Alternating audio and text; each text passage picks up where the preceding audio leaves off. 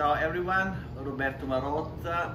I'm the chef and owner at uh, Dova and Ardo Restaurant. Today we are at Dova Restaurant and uh, I'm here to show you a, a, classic of a Sicilian cuisine called uh, uh broccoli riminati. Here we have the ingredient.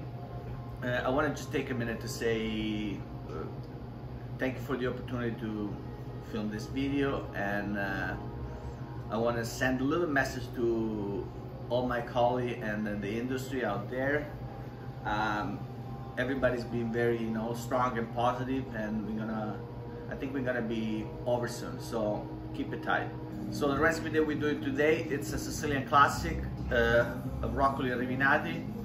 We have our uh, our fresh bucatini that uh, we, we decided to do here, fresh in house, using two two flour, one Canadian, one Sicilian. You guys at home can also use uh, any kind of bucatini you can find any uh, food store.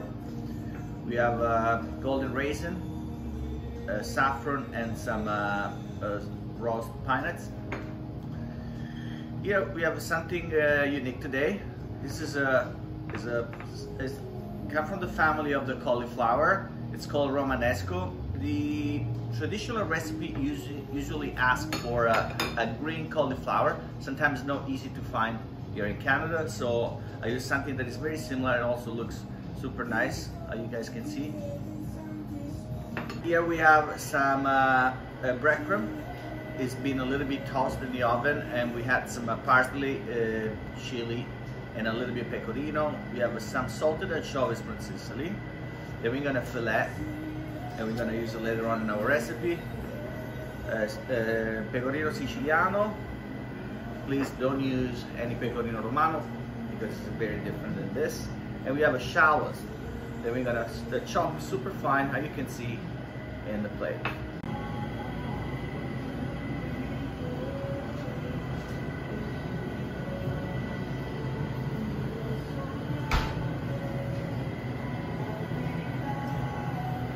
Okay, we're gonna cook our recipe. So we have some water boiling.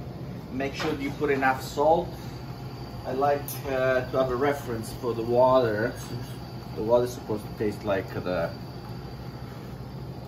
the ocean back home, but I will say 15 gram of salt every 4 liter of water.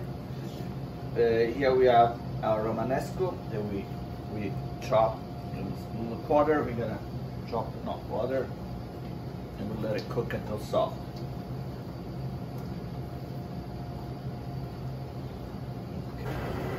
Now it's, a, it's time to drop our pasta,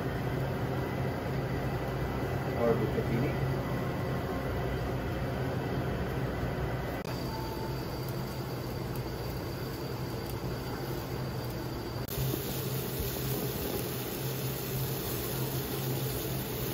Okay, our pasta is ready.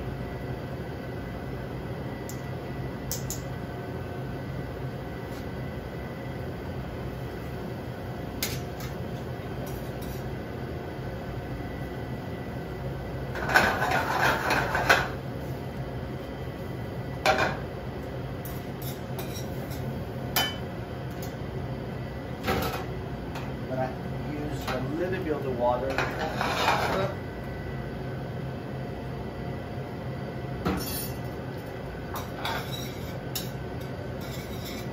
And you can see cauliflower kind of become a little bit more creamier.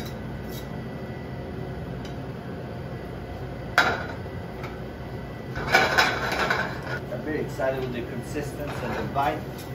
The mix of Italian uh, mix of Sicilian and Canadian semolina give us a very great final product. They're almost ready to plate. What we're gonna do, we're gonna add a little bit of the grated pecorino from Sicily we grated before.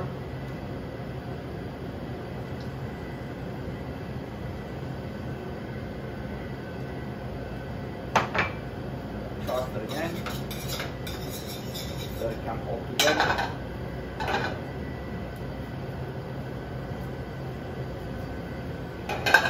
going to add some pine nuts. We tossed them before.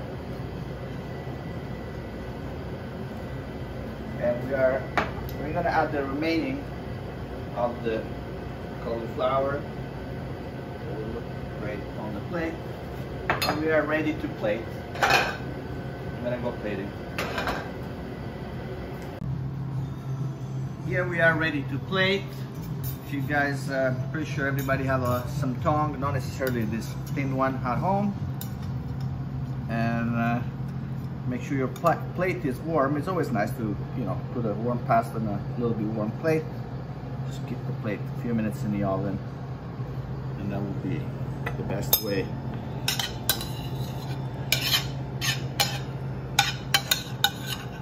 here we're gonna finish garnish with this the remaining.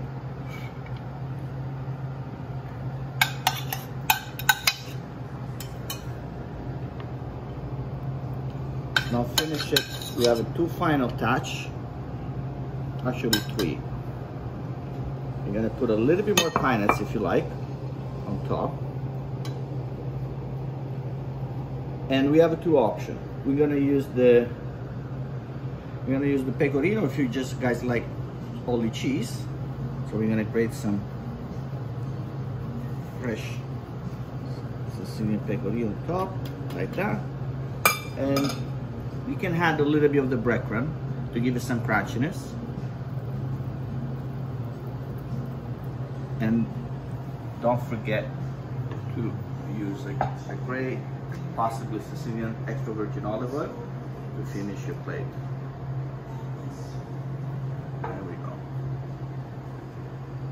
Broccoli riminata, a Sicilian classic.